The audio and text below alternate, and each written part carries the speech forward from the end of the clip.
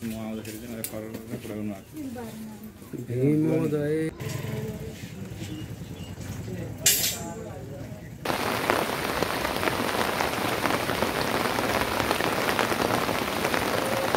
यहाँ आएर यहाँ बस्नु सुरक्षित ठाउँमा आयो।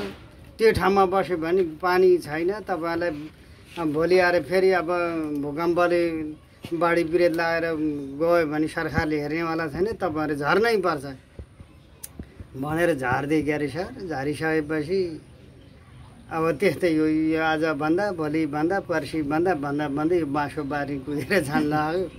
घर बनाउने वातावरण नै मिल्दैन। अब के गर्ने कसो गर्ने आपतै छ। समस्या त ठुलो समस्या त हामीलाई हेर्नुहोस् न अब गरी खाने ठाउँ भइदिए बस्नको सुविधा भइदिए त्यसमा हामीलाई खुसी थियो नि सर। त्योबाट पनि अब खुसी थियो। अहिले बिखुसी भइरहेको थियो हेर्नुहोस् यी सधैँको पसिना बगाउनु पर्ने सुख नि नपाउने नसक्दा पनि बाध्यतै गर्नुपर्ने हेर्नुहोस् त सर। मन अब छोडे ठाउँलाई के गरेर बस्ने भनेर सर। उहाँबाट चाहिँ विस्थापित गरेर ल्याइसकेपछि त्यहाँ गएर बस्न त अब हाम्रो मनले नै मानेन नि उहाँहरूले पनि बस्नै हुँदैन भनिसकेपछि त्यसरी खाने पानी छैन। यहाँ मान्छे लडेर पनि मऱ्यो त्यो भिरबाट। यीबाट झन् तरास भयो। काम गरिन्छ के हुन्छ भोलि कसो हुने हो अबको छोराबोरी के हुने हो जस्तो लाग्छ है सर। के अब राम्रोसित सबै बसी बसाउ गरिदिएदेखि सबै कुरा सुविस्ता त माथिको भन्दा त अलिकति सुविस्ता त छ नै भिड पारमा हिँड्न परे छैन माथि हुँदा चाहिँ भिडमा घाँस काट्न गयो। मर्छ कि भन्ने डर हुन्थ्यो।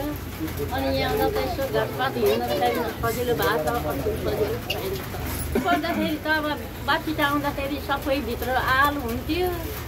अब राति भयो पानी सोरेर सुत्न पर्ने त्यस्तो ओछ्यानमा हजुर अब त्यो त्यो पिलर छ त्यो पिलरमा चाहिँ पानी पसिसकेपछि त भित्र जलम्मै आलै हुन्छ। अनि त्यो सोरेर त्यही माथि बस्नु पर्ने। जोखिममा मर्छ भने डर भयो। हामीले तिमीहरू ज्यान मात्रै बचाउने भए लैनु भनेर सरकारले ल्याएर यहाँ थुपारिदियो उता आमालाई नि मारे त्यही बेला हामी त बिसोरमा छौँ। यहाँ ल्याएर सबैजना हिँड्ने घर बनायो। उता सरकारहरूले के अरे संस्थाहरूले ल्याएर बनाएर राख्यो। त्यतिकै अब त्यही हो जेला मजुरी गरेको छ खाइएको छ अब जुनै पनि हालतमा जुनसुकै पनि हालतमा यहीँ बसोबासको व्यवस्था मिलाउनुपर्छ। जग्गा नभएको पनि होइन जग्गा छ। दायाँ बायाँ अगाडि बस्नेलाई अगाडि मिल्छ भने पछाडि बस्नेलाई पछाडि मिलाएर हामीलाई बसोबासको व्यवस्था गरिदिनुपर्छ। कम्तीमा हामीलाई द दस धुर चाहिन्छ। कम्तीमा हामी एक घर बराबर द दस धुर चाहिन्छ जसरी हुन्छ व्यवस्था गराउनुपर्छ। हामी भुटानी शरणार्थीलाई बरु सरकार सरकारले हेरेको छ घर बनाएर दिएको छ। हामी सात सात वर्ष भइसक्दा पनि हामीलाई भुटानी शरणार्थीको जतिकै जति पनि मान्यता नदिएर हाम्रो कुनै चाहिँ सुविधाहरू दिएको छैन। न टोइलेटको रिपेयर न बाथरुमको रिपेयर कुनै अन्य इत्यादि सरकारी हामीले कुनै पनि पाएको छैनौँ खालि मन्डो झुलाएर बस्ने काम मात्रै गरे सरकारले। अब कसरी हुन्छ यो सरकारले गम्भीरताको साथ हामीलाई यो चौबिस घरधुरीलाई व्यवस्थापन गरिदिनु पर्यो।